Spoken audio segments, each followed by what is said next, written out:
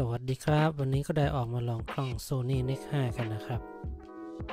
ก็มาลองที่ประตูท่าแพนะครับ วันนี้ เดินมาก็เจอกับดอกไม้ที่ลอยอยู่ ในคูเมืองนะครับ ก็ดูแปลกดีมันลอยเป็นแบบแบ่งชั้นๆกับน้ำนะครับ จริงๆแล้วมันเป็น เชือกขวางอยู่นะครับ ตรงนั้น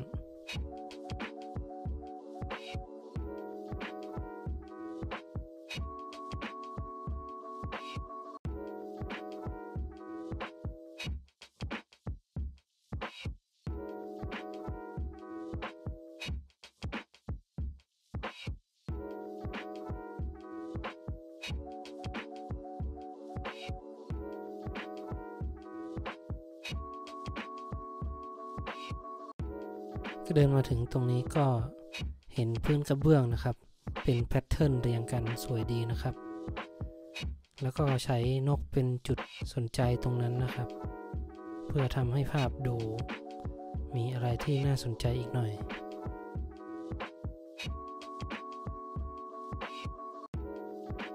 ส่วนตรงนี้ก็มองเห็นรูปคนที่เพ้นไว้ตรงตู้ ก็เลยรอจังหวะให้มีคนเดิน ผ่านมาแล้วก็กด snap ถ่ายให้เหมือนกับว่า คนที่เดินผ่านมาถูกถ่ายโดย ตัวการ์ตูนที่วาดอยู่ตรงตู้นะครับ ในรูปก็มีสีเยอะเกินไปก็เลยว่า ถ่ายออกมาเป็นขาวดำดีกว่านะครับ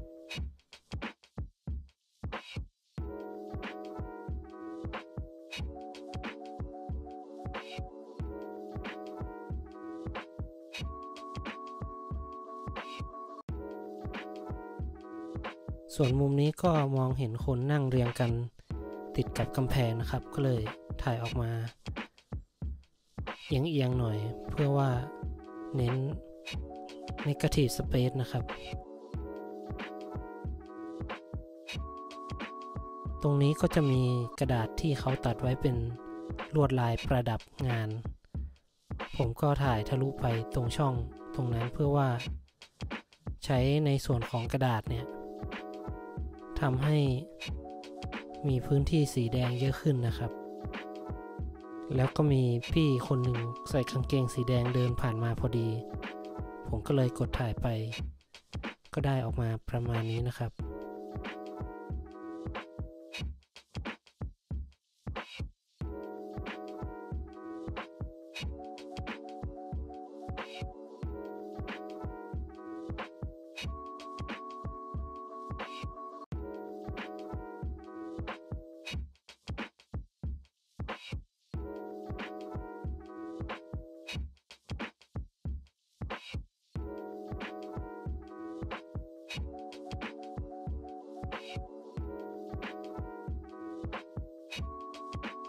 แล้วก็เดินผ่านมาตรงนี้ก็จะมี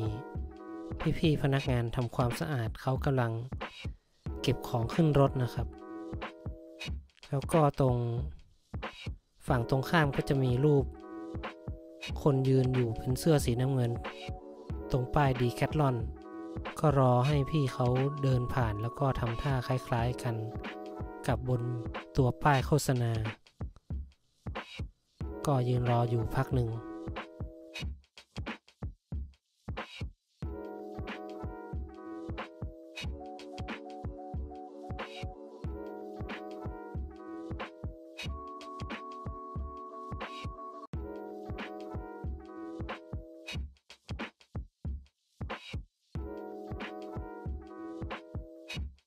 ส่วนรูปนี้ก็มีพี่คนหนึ่งเก็บของอยู่ด้านบน แล้วก็มี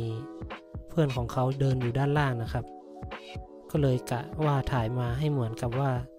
ตัวพี่เขายืดสูงขึ้นนะครับ ส่วนมุมนี้ก็จะสังเกตดูก็จะมีรูปคน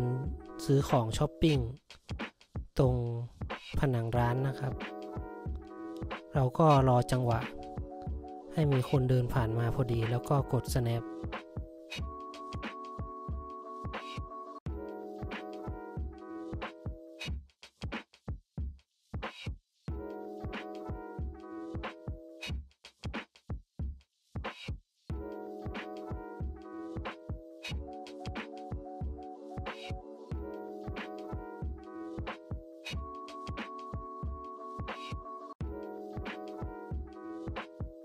ตรงนี้ก็จะเป็นคู่สีตรงข้ามนะครับ สีน้ำเงินกับสีส้ม โทนร้อนกับโทนเย็น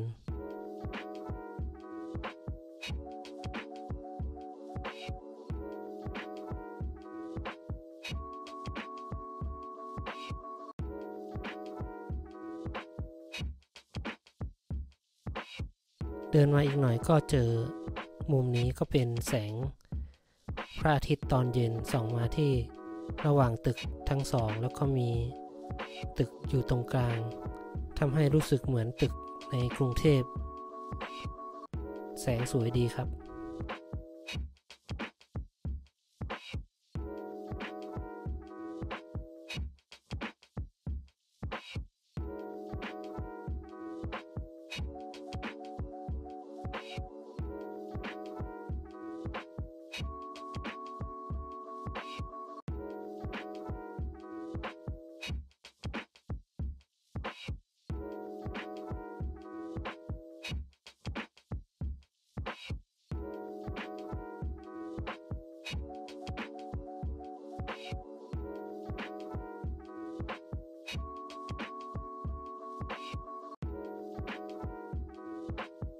มุมนี้ก็มีพี่ผู้ชายคนนี้นั่งอยู่นะครับ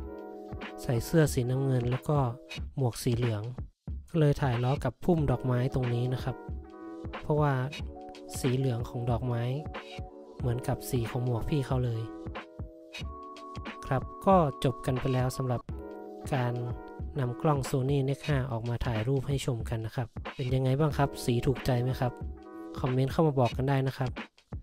สำหรับคราวหน้าจะเป็นกล้องตัวไหนก็รอติดตามกันได้เลยนะครับ สวัสดีครับ